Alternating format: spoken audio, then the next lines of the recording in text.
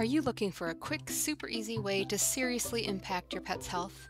Come with me as we make meals for our dogs. I'm talking like 10 to 15 minutes once or twice a week. We will walk through this together so you can learn and understand why it's so incredibly important for our furry family members. You and your pet will be glad you did. Thanks for joining me today. I'm Jen Lee, and you are along with me on my Jentastic journey through early retirement as we discuss our pets' health, well being, and living their best lives. I have rescued five fur babies, and they will be along with us to give us some cuteness as we do so. Now let's get to today's project. Before we get started, full disclosure, I am not a vet. I have been doing this for 10 years and have seen the great impact it's had on the health of my dogs.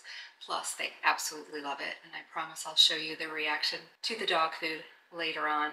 Most of you know that dogs are carnivores, and their teeth are constructed in a way that want them to tear at meat. We're going to make sure that they have a predominantly carnivore food. So let's take a look at some of the ingredients that you'll need. We'll start with the proteins. Now this will vary. The proteins can really vary as to what your pets prefer, also what you have in stock. This is supposed to be easy. This is no different than cooking for your family. Whatever you have in the freezer will work. For today, I am using pork. I use ground pork because it's just a little bit simpler for me to make, but you can use a pork roast. Um, you can use chicken, beef. I also will occasionally bring in fish. I don't make it as the main ingredient, but I do incorporate fish um, just to give them a little bit of variety. There's also some of the expensive meats like veal or lamb, and I will occasionally bring that in. In fact, today I've got a little bit of veal that I'm just going to add this in to give them a little bit more variety. And again, this is just like cooking for your family. If you have time to do that, if you have the time with the creativity or the extra stuff, um, or you're trying to get some things out of your freezer. I also use sardines. Sardines are a great source of protein fats. These happen to be skinless and boneless, but it's only what I had on hand. But you can use the one with bones, and that's a great source of calcium as well. And then last for the proteins, I have some liver. Dogs love any sort of organ meat and it's extremely good for them. Today we're going to use some calf liver, a very inexpensive form of organ meat, and it's what I had on hand. You'll see that as a theme. And so vegetables, as you can see, I use big bags just because that's what's easy for me. I get this bag at Costco and it has all the types vegetables that I prefer.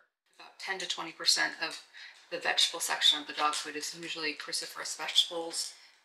This one also has carrots and squash, which are very good for dogs as well. So this one is a great blend. This is called Normandy style, and you can find this in much smaller bags as well in the grocery store. Extra ingredients can be things like cranberries, blueberries, and some of the sardines that I mentioned.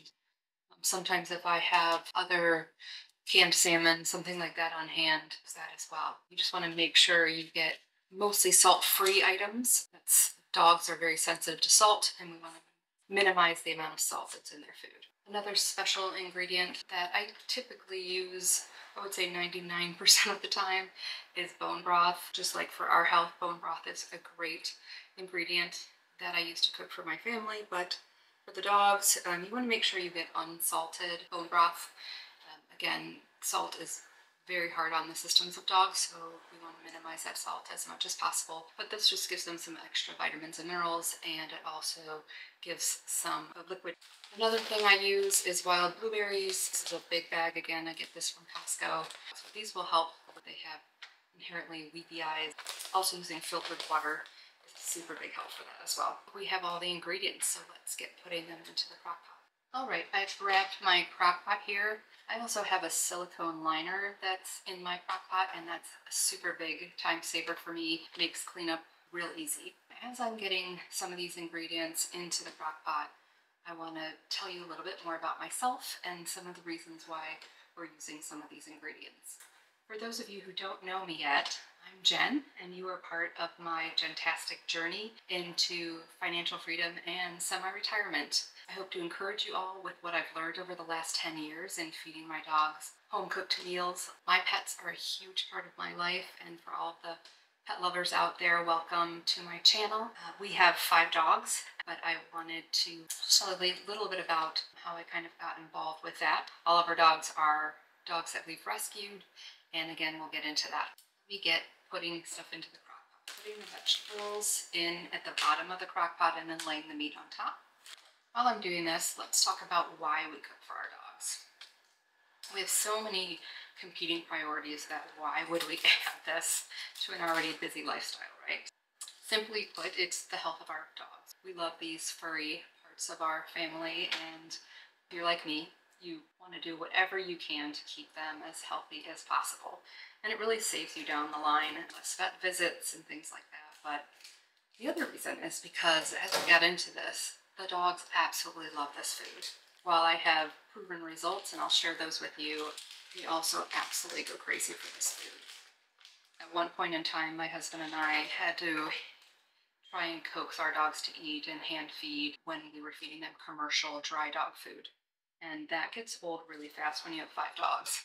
We also RV with our dogs, so it gets a little crazy when you have to be hand feeding and coaxing your dogs to eat especially when you want to go out and sort of explore wherever you're traveling. Most of our dogs were rescued from a puppy mill. Their health was questionable. Who knows what they were eating, what their lifestyle was like. They were just kept around to breed. When I bring the dogs to vets initially, see what it is that um, they have going on with their health, then I start to feed them my gently cooked food that we're making today here. Within, I would say, six months for most of my dog, we just saw all of their numbers that were kind of in the red move into the green. And it's just such a good feeling to know that something as simple as cooking for them can make that big of an impact on them. All right, as I'm finishing up with the ingredients, this takes me about 15 to 20 minutes every three days or so. I'm cooking for my dogs because I do have five of them. I would say that you want to cook enough so that you're going to have about three to five days worth of food available for you so that you're not doing this all the time. You don't really want to keep food around for longer than that. So let's put the last of the protein in here. I usually put the liver on top. Then I put about a cup of the bone broth in there just to give that a lot of nutrients. That's really what I do to get started. And then we're going to this crock pot on low A couple of things before we get this cooking. First of all, I buy all of my ingredients from the grocery store, just like I do the ingredients for my family's food. A lot of you that may be more organic or like to purchase from local butchers or things like that, feel free to make this as exciting as you want to make it. For me and my family, I've really primarily purchased from the grocery store. I purchase things when they're on sale. I put them in the freezer. As soon as I've cooked one batch, I then take the ingredients out of the freezer and put them in the refrigerator so that when I'm ready to use them, they're already thawed out.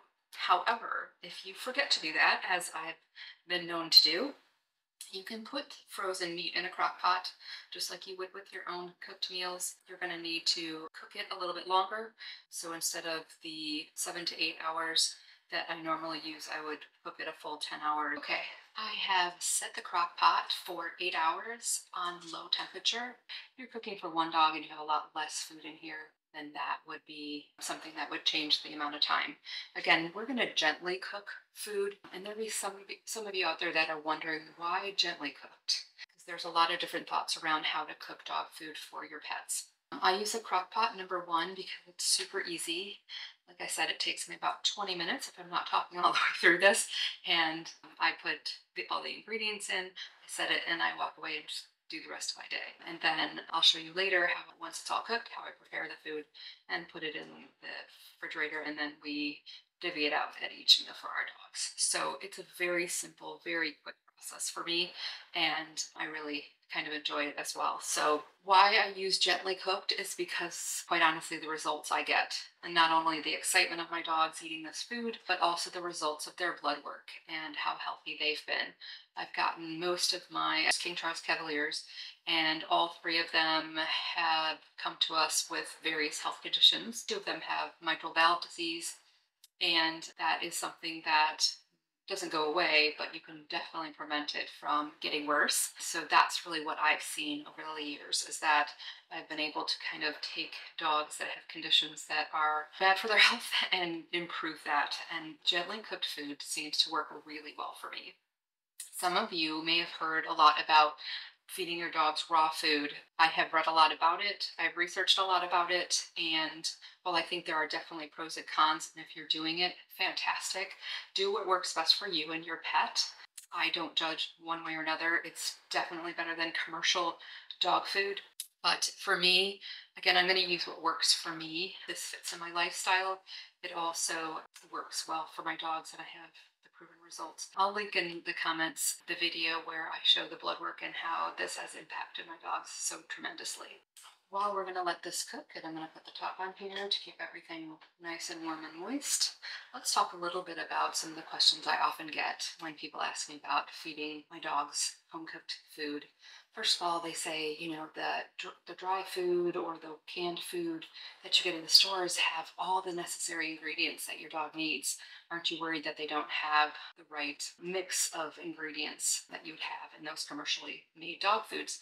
And the answer is no, I'm not worried about it. Again, I've been doing this for 10 years and my dogs have become much more healthy than they were when I was feeding them commercial dog food. To me, commercial dog food is a little bit like kind of going out to a fast food restaurant every night for the dogs. It's got questionable ingredients and trust me I was purchasing very expensive dog food before I started cooking my own food so I've actually saved money by going to this process no matter kind of at if you look at the ingredient list it's still processed right so similar for our diets we want to try and stay away from too many processed foods and I feel like I'm doing the same with this for my dogs. So that's critically important for me. Do I supplement? That's a question I get as well. And I do. Again, I have three King Charles Cavaliers. And if those of you that know the breed know that, that they're kind of an unhealthy breed, they are a great breed. They're definitely lap dogs and they're fun and cuddly. I also have two lab mixes, again, rescues. So I'm not really sure what's in them, but I've got a black lab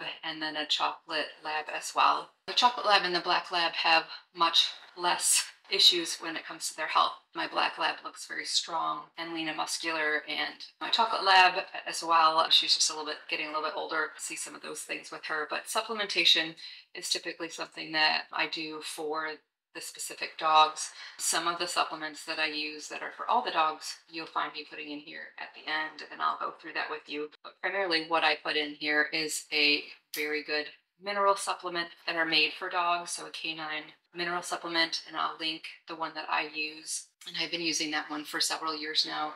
It is recommended by a holistic vet that I follow. Very important for a lot of your pet's health that you have the right mineral mix.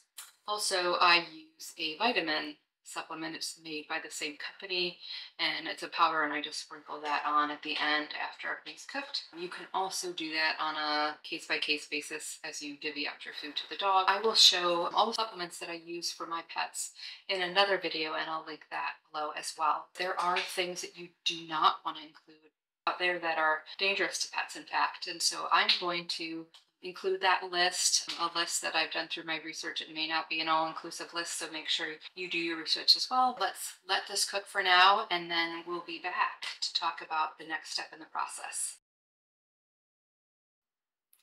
Welcome back. I hope you had a productive day as we waited patiently for our crock pot to finish cooking our dog's food. I promised you this would be simple and easy and this certainly was. We literally spent 10 minutes throwing our ingredients in here, set it to low temperature for six to eight hours depending on how much food you had in your crock pot and now we're ready to take the next step.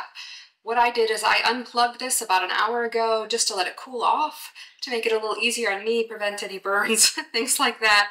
Also, it makes it a little bit easier for my food processor, which is my next tool I'd like to show you. This is the food processor that I have been using for a year. Uh, I had been using a small, regular Cuisinart food processor prior to that. And again, if you have dogs that have perfectly great teeth, especially if you have larger or medium or large sized dogs, they love to chew through all the meat and you won't necessarily, especially if you have ground meat, you won't necessarily need to use a food processor. Just make sure you mash up those vegetables real good because they don't have the right teeth to be doing that. But usually most of the vegetables get kind of mushy anyway in the crock pot. And you want to be able to mix it well enough to get any of the vitamin and mineral supplements you're going to put into the food, get it well incorporated so that you don't want anybody to have any too much or any yucky taste from, from the supplements.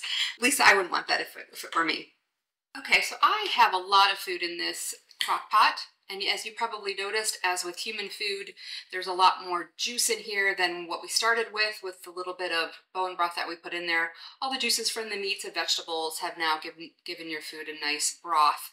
And we'll be using every bit of it so we get all the nutrients that came out of the meats and vegetables. So I split mine into two batches because I have so much food in here and I have a large container that I'll put it in at the end. Again, you're going to want to make sure that you have enough food for three to four days to put in your refrigerator and then uh, any amount kind of over that that's going to be in the refrigerator more than four or five days just like with human food you're going to want to probably freeze any extra so that it doesn't go bad this batch will usually last me three days and so that's perfect for me and my five dogs. I'm going to literally split this batch in half. You'll hear some of my dogs start to come over because they know that when this process started, they're going to usually have a brand new meal. As I mentioned when we were doing this earlier, I use a good mineral and vitamin supplement for my dogs. And that's similar to what we do when we take our own vitamin and mineral supplement. It's just to ensure that we have the best of what we need. And uh, this just ensures that, especially a mineral supplement. I think that's even more critical. And when I've been talking to my vets, and listening to the, some of the holistic vets I follow, minerals seem to be more critical even than the vitamins but I do both just to be on the safe side. For this batch, I'm also going to be using a kelp supplement. Kelp is a great supplement, and I give it to all five of my dogs, so it's something that I can add directly into the batch. It boosts their immune system. It also keeps their coats nice and shiny, prevents them from being itchy or having any flaky skin. It's a natural source of fatty acids. It promotes healthy gut and digestion. Also, it supports gland function and the health of their thyroid. And it's just an overall good source of vitamin, minerals, and enzymes as well. This is mushroom extract powder. It supports immunity, cognition, and adaptation. Again, I will link these supplements below and in the resource section as well. As I'm getting this in here, who out there are my label makers? I am a crazy labeler, so you guys will likely see that some of my things, either I've written on them with a permanent marker, some of the supplements, or I love my label maker. I was with my husband in a Home Depot several years ago and just came across this label maker and I was like, I, I think I could do fun things with this. And so now a lot of things in my house are labeled. My kids all make fun of me. My husband makes fun of me as well, but I think they all know that it kind of keeps me sane and keeps me organized. And so, I don't know, there's just something fun about having something I need to label. So I have leftovers, I'm labeling them with my label maker. So I have a fill marker on my food processor. So I'm just making sure that it's pretty uneven in here, but um, that this is not going to overflow. I'm also going to make sure that I have enough liquid in here so that it doesn't have a hard time pureeing all this wonderful food. It's funny, when I was cooking this earlier, my husband came home and said, oh, what are you making us? So it does smell just like kind of like a pot roast. Sometimes the liver, it's got kind of a stronger scent that sometimes my daughter doesn't always appreciate when she's home. For the most part, this smells pretty darn good. Okay, so let me grab some of my other ingredients that we're gonna add into this batch of food. Since I'm dividing this into two, I'm going to kind of half all of my extra ingredients. Um, again, some of these are optional. I almost always put my pumpkin in to every batch, and that's really because it's super good for the poop of our dogs. If your dogs have loose stools, it'll kind of firm them up. And if they have too hard of stools, it kind of loosens them up. So it's kind of a miracle. It's great for us as well as humans. So again, I am not afraid to use it when it's good for us. All right, so I've got a half a can of pumpkin in here. And then next I'm gonna get to mineral supplement. Again, this is a canine, so it's made specifically for canines. What I've done is I've determined how much all the dogs would need in three days worth of food. And then I've just given myself a note, not labeled, but it's written on the top of the container and that helps me and my husband when he feeds the dogs as well. So I know that I'm going to need 10 to 12 uh, scoops per batch. I just go ahead and split that up. Um, and I'm going to show you a little easy tip. Again, we're making this as simple as we can. So on the top of my food processor, it comes with this cute little cup. We are going to use this for this part right here. I'm going to take the handy uh, scoop in here and I'm going to put uh, five of them in here and we'll use that for the second batch. And then also, you can do this when the food processor is running. Um, so sometimes I'll, I'll have the top on and I'll just put it through the hole in the top. But for today's demonstration, so I'm not running it super loud, I'm just going to do it this way. So here.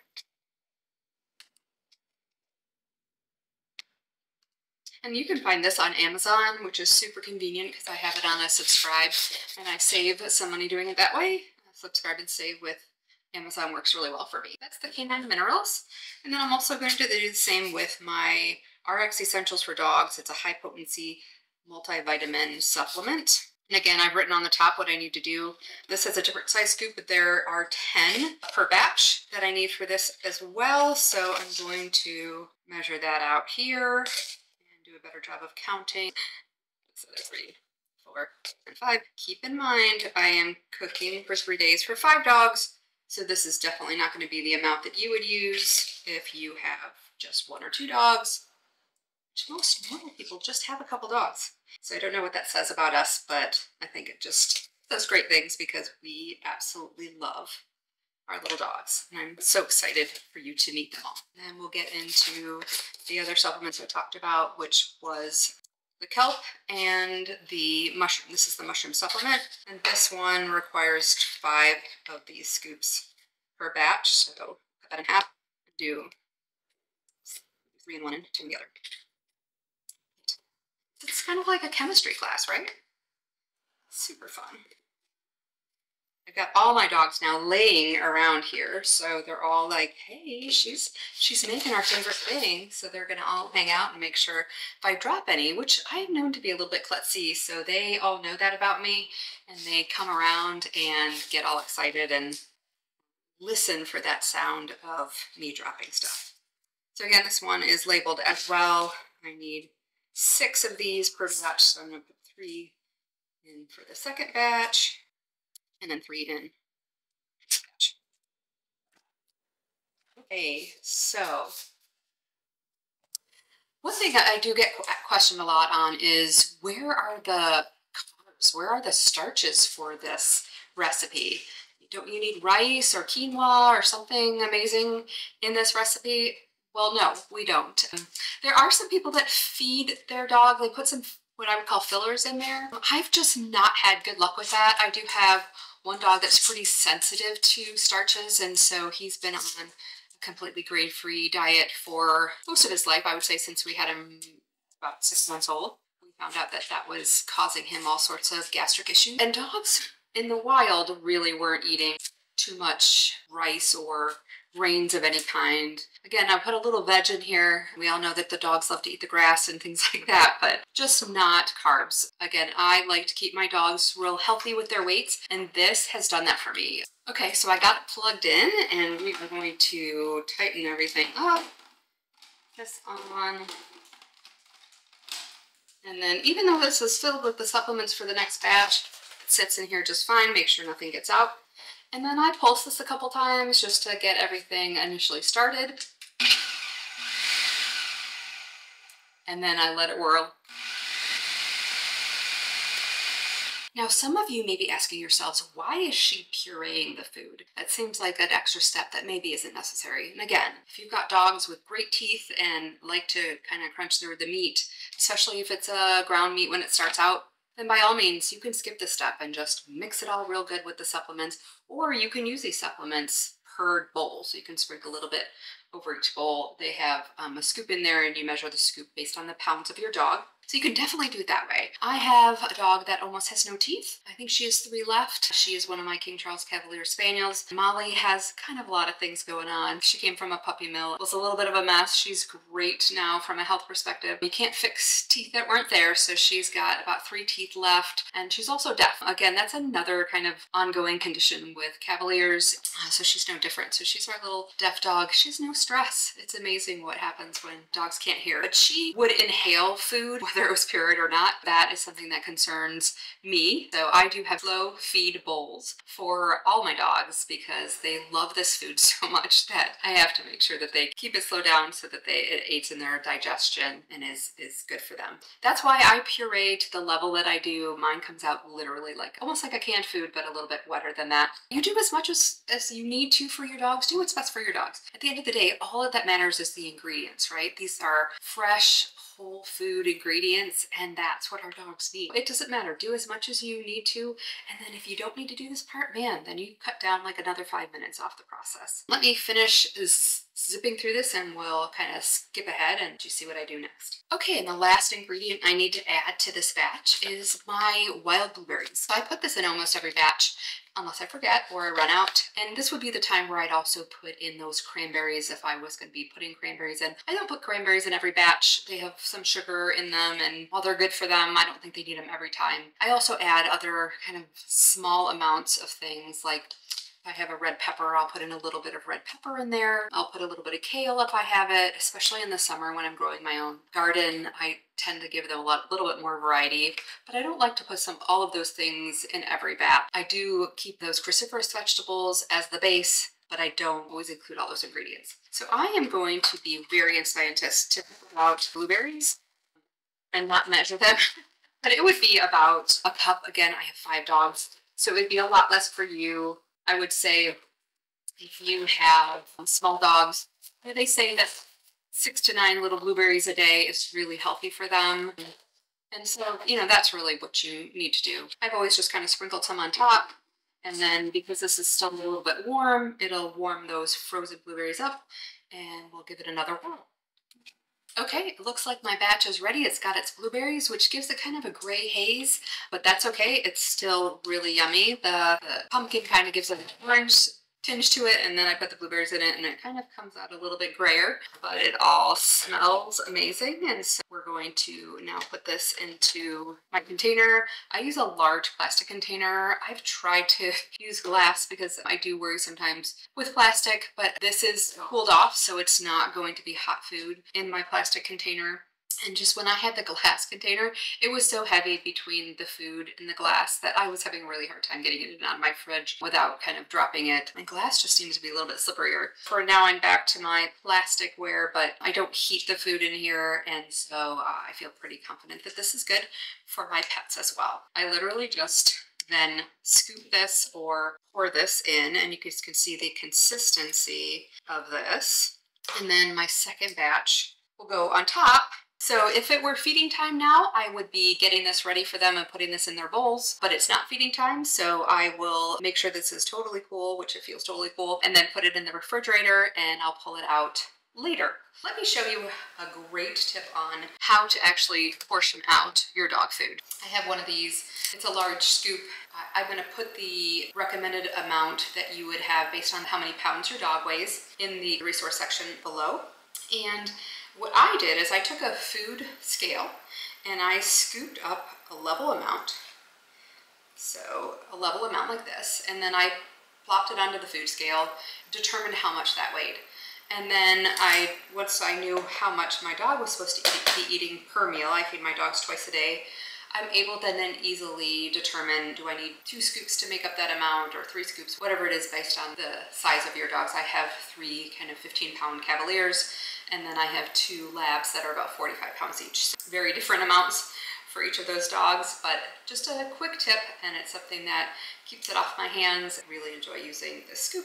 All right, so this process took about another five or 10 minutes and we are done. We have now completely spoiled our lovely pets with some great homemade healthy food for them. I'm gonna continue letting my family and friends think that I spend all this time in the kitchen cooking for my dogs, just slaving over the, the hot stove for my dogs. But you guys now know the secret that it's really kind of a 10 minute process to get it all put together and then another 10 minute process to puree it and make it ready for the dogs. You're in on my secret. If you would, leave me a comment. I'd love to hear how cooking for your dogs has made an impact on your life and the health of your dog. Even if it's not my recipe and you're doing something great for your dog, I'd love to hear about it. I'd love to see pictures of your dogs. Anything that you want to share with me, I'd love to see it. All right, so let's see what our furry friends think about the meal. Does this look good? I think they're interested. Thanks for joining me today. I'll continue to create videos about the health of our pets and what things we can do to continue to improve their health. I look forward to creating those videos for you and I will see you along my Jentastic journey. I hope that this brings your journey joy as well. Until then. If you found today's video helpful, please click the like button. It seriously helps my channel. Also subscribe as I create new content weekly that I look forward to sharing with you. My content also includes other hobbies and adventures that bring joy to life, such as engaging creatively through crafting cards and enjoying the thrill of travel as we explore the United States in our Airstream with our five dogs. Thanks again and I'll see you in the next video.